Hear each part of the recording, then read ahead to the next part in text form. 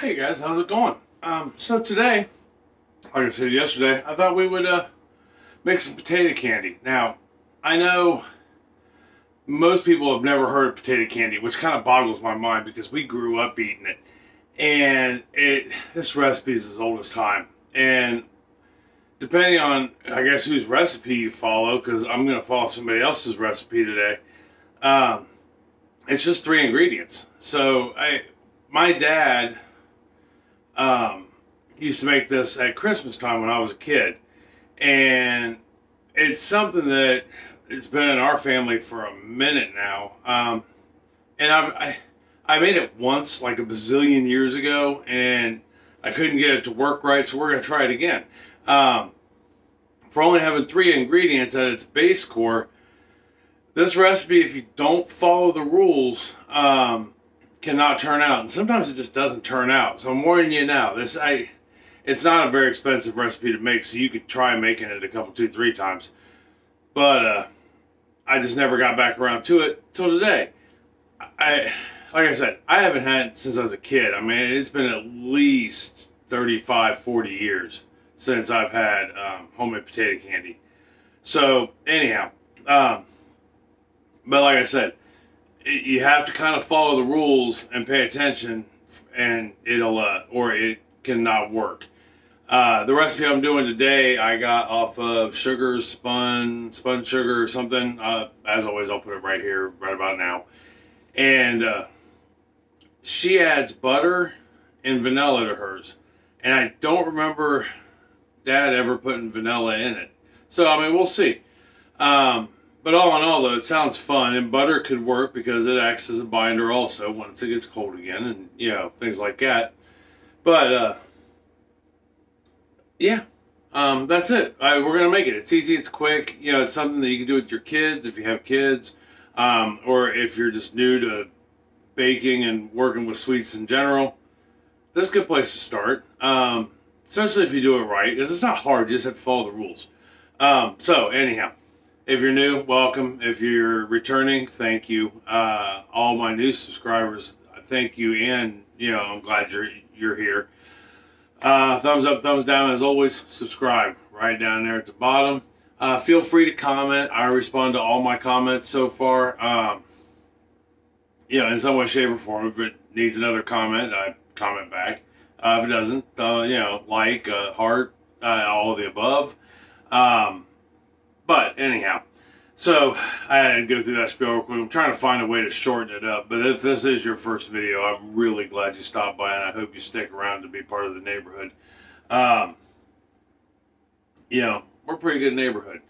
But anyhow, that being said, let's get down, go ahead and get down to the counter, and uh, we'll start making this quick, fast, really easy. Well, I won't say quick, fast, but really easy uh, potato candy. All right, hold on for me one second. Okay, we're down here at the counter, and we have pretty much everything we need at the moment to uh, do this uh, dessert with, this candy with. So the first thing you need is one russet potato. All right, make sure it's a russet. Why, I don't know. I just know that it's highly recommended you use a russet. They're the cheapest potatoes ever. And you want to get, not a huge one, but a good one that'll give you a half a cup of mashed potatoes. Because that's basically what we're going to make first. So the first thing we're going to do, I'm going to take my peeler now I'm going to go ahead and get the skin peeled off this potato.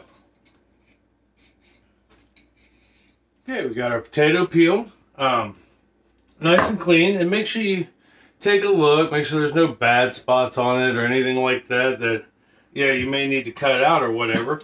And then the next thing we'll do is we're just going to dice this into about one inch pieces, one and a half inch pieces. We just want small pieces.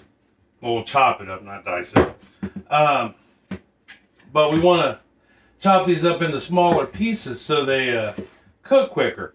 When you're making mashed potatoes, I mean, this is kind of just basic mashed potato here because we're not putting anything in it. Nothing in the in the potatoes, so to speak. But uh, you, you cut them up, and then that way they can uh, cook quickly. You know, get your bad spots out while you're cutting them. You'd put this thing in the water whole, it would take, you know, over an hour to cook where by cutting these into these little one to three quarter inch pieces, we put them in the water and um, they're done 15 minutes after the water starts boiling. So now we're just going to take our potatoes, plop them in the water.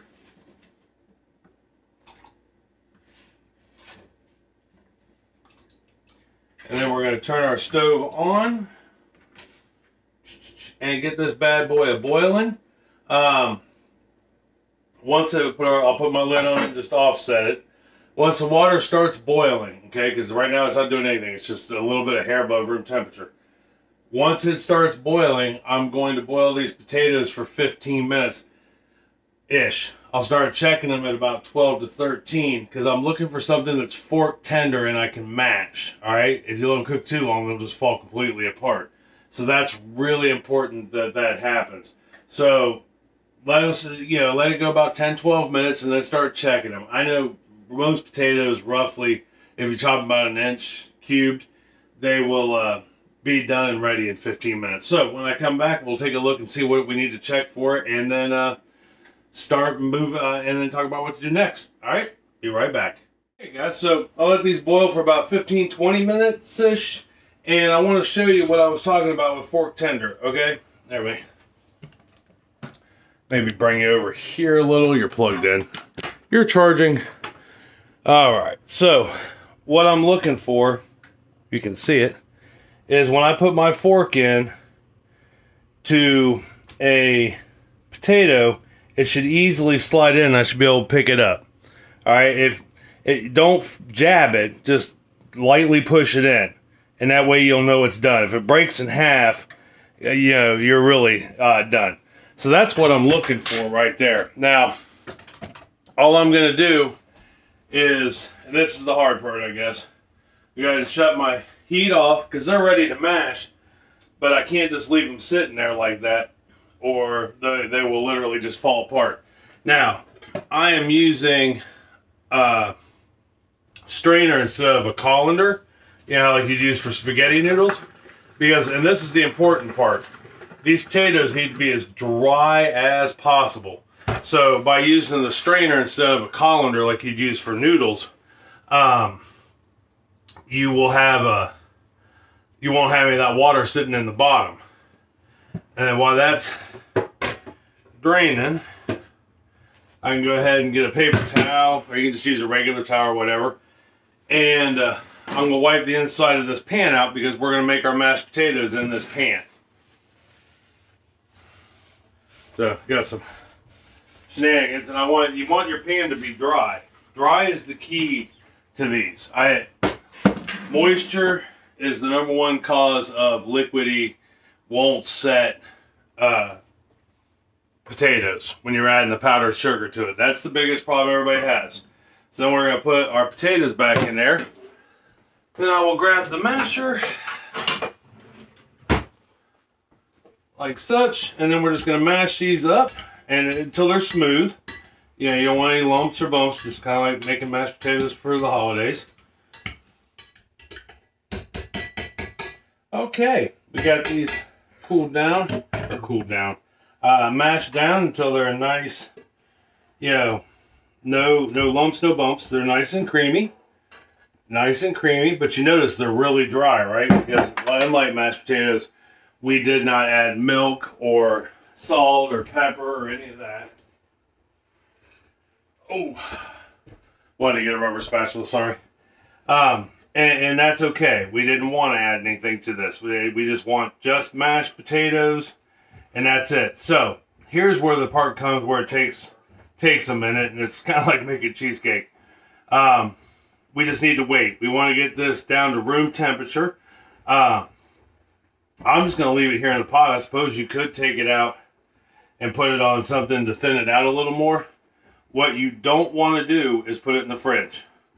Um, it builds up a moisture content in the potato and can cause your potatoes to not become a dough. It still it'll just stay a liquid and it'll be a mess. Um, literally, not figuratively speaking. Um, it's quick and easy. Just throw it away and start over. But we're trying to avoid that. So we're just going to let this sit and cool until room temperature. And when we come back, we will uh, move on to making them. All right, I'll be right back. All right, guys. So we uh, let our um, potatoes come down to room temperature. And they're nice and smooth and beat up. Like such. So, next thing we need to do I need to add one stick, 115 grams, um, eight tablespoons of softened butter, so almost room temperature, if not room temperature. And we are going to need a total of potentially six to seven cups of powdered sugar, which is like 819 to 910 grams. This bag is 910 grams. and it is a uh, one pound bag, two pound bag. So two pounds of powdered sugar, but we're gonna start with a cup. We're gonna put that in there with it. And this is kind of where it becomes a guessing game. You may only use six, you may use all seven. You can go a little more because it just depends on the potatoes, the butter, you know, how much moisture is in the potatoes. Yeah, because that moisture is going to eat that powdered sugar up. And then we're just going to take our hand mixer. I'm using it today instead of digging out the stand mixer. I'm going to put it on low so I don't throw powdered sugar everywhere. And I'm going to start creaming this. And as I cream it, I'm going to continue to add powdered sugar. Okay, so we got our powdered sugar in there. And I'm going to show you what I believe to be what she's talking about. Because she said it should be malleable. Um, and to me, this is malleable. It's it's moldable. It's you know you can do something with it, but it is still kind of sticky, and that's okay because she's this recipe does something else different that I'd never seen anybody else do. I mean, that I've seen make this, which has only been a couple people. Uh, my dad being one of them about 40 years ago. So she, uh, in, in the recipe, they, they call for, I because I really don't remember if it's a she or a guy, um, they call for a, to put this in the fridge for an hour. And I'm going to guess is to get the butter to solidify a little, which will give you a firmer crust or a firmer roll. So what I'm going to do is I'm going to go ahead and put this in the fridge. Now that we've got a nice, you know, consistency of dough there. And when I come back, we will uh, roll this out and uh, get her buttoned up. All right, I'll be right back. Okay, we let our uh, potato base sit in the fridge for about an hour, maybe a little longer. Um, and if it's too stiff per se, as we're getting ready to roll it out, we just leave it set out for a minute and that butter will start to soften up a little bit. I, the more I thought about it, this recipe in particular, I think um, she puts the butter in it, or they put the butter in it, um, to help make it stiff. So we're going to take half of our, this actually makes two whole rolls. So we're going to take half of our roll, roughly half, and we're going to put it, um, we, I got powdered sugar down here, just like I would flour if I were kneading a, uh, a dough, if we were if we were doing out a uh, pie dough. And we're just going to coat this generally and generously in powdered sugar. If you have that, this unlike dough, normal like pie dough, you, you can't add too much powdered sugar to this, is my understanding at any rate. Like I said, I've never made potato candy before, although I have had it several times as a youngin. And so I had to, I'm learning right along with you, right? So we're going to make this a rectangle, and we're going to make it about a, about a quarter inch thick. So all I'm going to do, now that I got that on there, and it's nice and coated with powdered sugar, I'm going to grab my rolling pin, and we're going to roll it out to be a rectangle we got our uh, rectangle made out of our potato and powdered sugar. Now we're just going to put in uh, just a nice covering of peanut butter. Uh, it, the amount is really up to you, and I did not grab my offset spatula. Hold on for one second. Okay, she's a. So we'll you just want to, I mean, but you don't want to like a, I mean, you may want a honking layer on there, but I'm just going to put a thin layer and I'm going to leave it about, a, about an eighth to a quarter inch from the edge. That way, you know, it doesn't go flying out the sides. And I mean, we can always cut the ends off, so to speak, and eat those. And nobody'd be worse the wiser. But we want a nice, decently thin layer, you know, just enough to balance the, uh, sorry guys, if you hear the hissing in the background, it's because I am doing, uh, I'm canning up some hamburger also. And that was it telling me it's time to put the uh, weight on. If you'd be interested in seeing how to can it, um, I would like to redo the video that I did once before on it. I'm not sure. You know, I, I did a I did it justice, but man, I'll tell you, the canned hamburger, it, you can can so much in one day, and then you come home, you don't have to worry about browning up hamburger for something. It's awesome. All right, let me finish getting this on there, and then we'll move on to the next step. We got the peanut butter on there, so now we just gotta gently, you know, because remember you're working with really dried out peanut butter or potatoes and powdered sugar. So we're gonna gently start this roll, and we're gonna do it long ways. Um, that seems to be the the way it goes.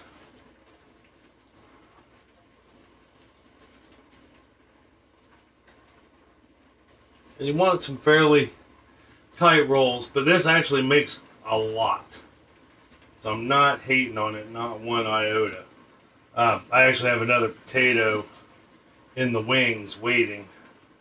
So we're doing dual duty. That way I have some for the house, I have some from work. Okay, so we got her nice and rolled up. Next thing I'm gonna do, I'm gonna cut off the ends. But we're gonna cut these into about quarter to half inch pieces, just like such.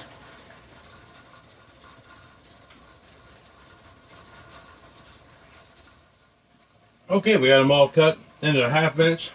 Uh, well, they're supposed to be rounds, but they ended up turning into like egg shapes. That's all right. Now what you gotta do is take them off. That one didn't turn out so hot. I think the my dough's a little too warm. Should have put it back in the freezer or in the fridge. That's all right. That's all right. This is how we learn, right? So I got them all cut up and put on the plate, and they didn't turn out quite circular, but that's all right. I don't remember my dad's ever being perfectly circular either, but it's also a learning process. I think I got my uh, potato candy a little too warm, so it uh, wasn't playing nice on that base out on the fact that my peanut butter is kind of oily. And uh, not thinking I do have the pressure canner going. So, but what I'm going to do next is I'm just going to put these in the fridge, cover them, put them in the fridge for about 15, 20 minutes, let them firm back up and where we've been playing with them. And when I come back, we'll try one. I, they're good about it. Tastes good because they don't look good. I mean, they don't taste good. I'll be right back. All right, hold on for me one second. All right, guys, so we let these uh, sit in the fridge for a minute, and we get down here, I'll show them to you. Um, I did up the other log, remember we only took half of it, so that left me another half to do another roll. And I went ahead and did it. I want to show you what you can learn um, just in a, a short period of time.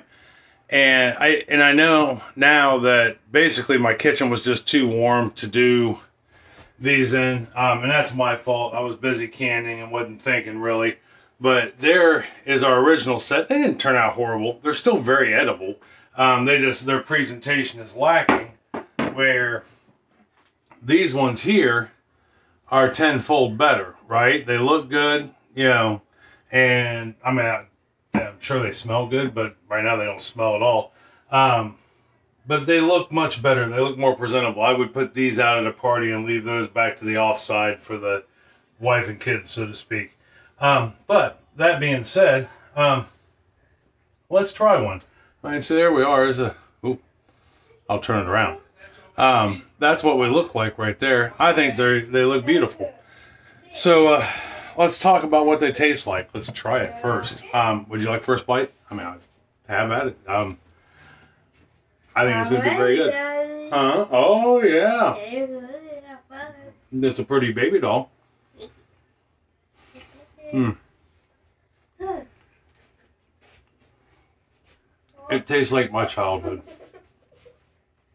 You don't taste the potato at all. Don't let the name fool you. You taste the powdered sugar, um, which oddly enough, it, the peanut butter actually tones the powdered sugar down a little bit and gives it a nice balance so you taste both. Mm. Now, that being said, I don't know anybody that can sit down and eat a whole plate of these at once. I ended up, and I don't think I said it when I came back, But because I had more than a half a cup of potatoes, it took me 10 cups of sugar um, to put this in, which oddly enough, um, I saw a video. I can't remember his name, but he's on uh, Instagram, not Instagram. Uh, yeah, Instagram, maybe no TikTok, and he does some of the most amazing old school recipes. And this was one he did. Um, I just happened to catch it on my Facebook page, on my Facebook feed, and uh, his took ten to twelve cups of powdered sugar per russet potato, and then the peanut butter. Um, there was no uh, butter in it at all.